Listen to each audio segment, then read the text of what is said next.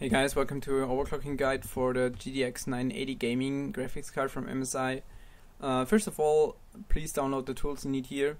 GPU-Z, FurMark, NVIDIA Inspector, MSI Afterburner, and the latest 3D Mark. Uh, I put the download links in the description on my website, so you can just download it from there. Once you got the tools ready, open GPU-Z twice. Open the sensor tab here and you can click on start render test but not at full screen. So if you keep the render test running it will force the GPU to go to 3D mode. You can see it now turned uh, on the full 3D uh, clocks 1328 and you can see the full 3D voltage 1.2620 uh, volt. Alright um, the next thing you have to do is open the MSI Afterburner uh, yeah, to unlock the core voltage, you have to go to the settings and unlock voltage control here.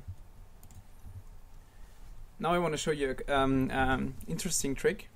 If you apply the full core voltage here plus 100, you can see the actually the, the core volt stays the same, 1.2620 volt which is quite interesting. Uh, maybe I'm not sure if it's only BIOS related. I already saved the BIOS and put it on uh, on the overclocking.guide website in the in the guide, so you can download it from there and um, um, flash it to your card. Maybe it helps. I'm not sure if it's only uh, if this trick only applies to my card.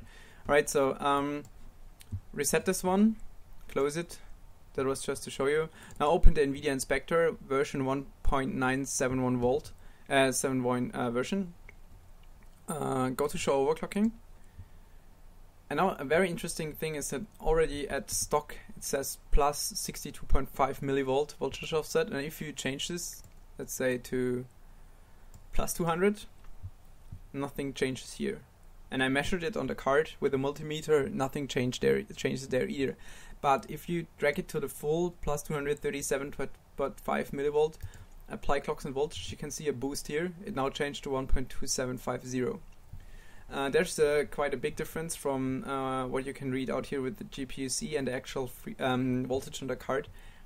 I measured it with a multimeter and uh, if you have it like this, the stock, the 1.26 uh, to a volt is basically measured 1.305 volt. And if you push this one to the max, and you have um, 1.2750 volt here, it's actually 1.322 volt if you measure it with a multimeter. Keep it like this, don't change anything else, and close the inspector. Now go back to the afterburner and open it, and suddenly you also have the plus 237 millivolt here, which is quite interesting. Uh, I recommend to keep the temperature limit at the same level here. And now you can basically go and start overclocking you could do, uh, if you want to do it quite fast, you can start with uh, steps of 100 megahertz, around 100. You can see I applied it already. You can see it turned to 1434 megahertz, also the same which you can see here. And a quick test, uh, if it's stable, would be the 3D Mark, which I don't want to run now um, for the video, but you can run it afterwards to see if it's fairly stable, if it's fine. Uh, close the rendering test. Uh, open FurMark it's basically a stress tool for your GPU. Uh, you can I just set it to these uh, values um, for the for the video, but you can also put it on full screen with a higher resolution, which will be even more stressing for your GPU. Uh, click on burn-in test, apply, and you will see uh, the the temperature here is raising quite fast. Uh, sh it should not exceed 85 degrees, otherwise your GPU will clock down and you will lose frames and it's also not healthy. So keep this test running for maybe one hour. Uh, if it's stable, go play some games, maybe for five hours. And if it's stable, you can increase the clocks even higher. Uh, just always keep an eye on the temperature. If you're always below 85 degree, nothing will happen because this this voltage is not um, uh, yeah not really uh, dangerous for your GPU. So if you got this stable, just increase the clocks even more uh, sorry, that was the temperature limit. Um, maybe even 250. Apply.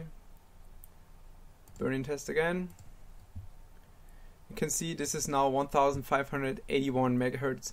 Uh, it could be that your card is not capable of doing uh, so much, but if you do the trick I showed you with a, a NVIDIA inspector, you can for sure push maybe 50 megahertz higher than using just the afterburner.